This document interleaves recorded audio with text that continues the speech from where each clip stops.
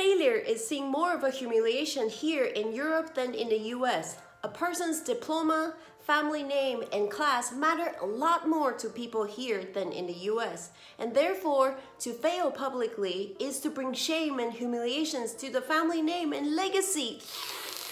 In Asian culture, we have something similar too. We don't like to lose face.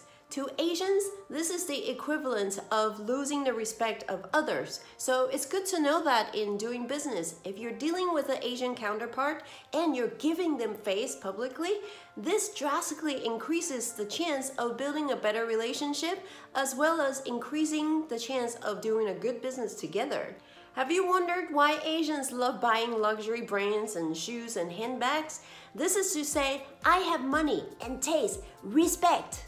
Not saying Americans don't care, but in the US, a lot of people still believe the American dream. They will get rich or at least die trying, and they accept that failure is part of the process. All this worry about failure comes from worrying too much about what others think, and it's good to care about it to a certain degree because it ensures the quality of the work you deliver and it ensures some people to at least act decently in front of others. But worrying about it too much also paralyzes us. And you wanna know the truth?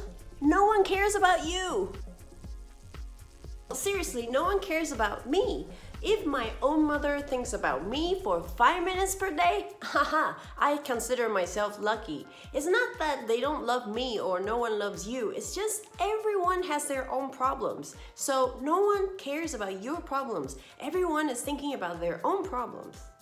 So be completely responsible for yourself, and then you have earned the right to screw up, and no one can say anything about it. Because you take responsibility for your decisions and you're willing to take the risks to try things out. And yeah, after some risk analysis if you want. And yes, you may make a fool of yourself, but if you can forgive yourself, why does it matter what others think? Maybe they secretly admire your courage. And yes, they may think you're crazy, but so what? And yeah, if you're wondering, yeah, I'm crazy. So what? It's out there. Yeah, Charlotte Han is crazy. Being responsible really just means taking an active role in managing my own life. And like running a business or managing a business, there's the fun part and there's the part that sucks.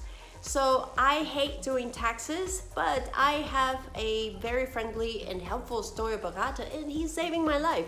I'm so responsible, but it's nice to have help. I also hate doing a business plan and I had to do it in German. No disrespect for the language, it was just hard.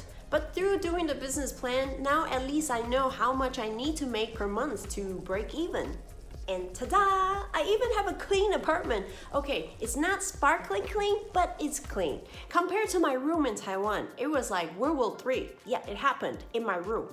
So yeah, I had to do things I didn't want to do, but I guess that's part of adulting. And everyone's things they don't want to do are different, but only when we force ourselves to do those things are we really stepping out of the comfort zone.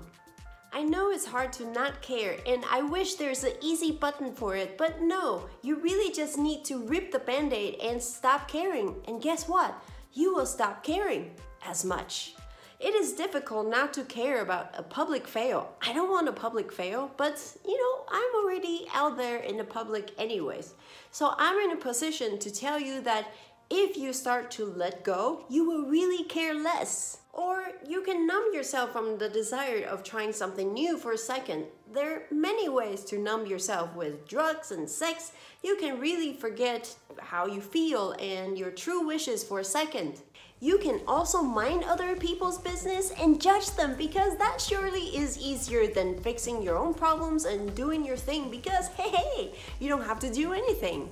I have been there. I know how it feels. It feels great, but just for a second, and then you have to find a new person to blame or new problems to blame. Take ownership of your own lives, jump through the hoops, and take risks. And most importantly, forgive ourselves if we fail. And then that's how we earn the right to screw up. Or you can move to a place far away where no one knows you. That helps too.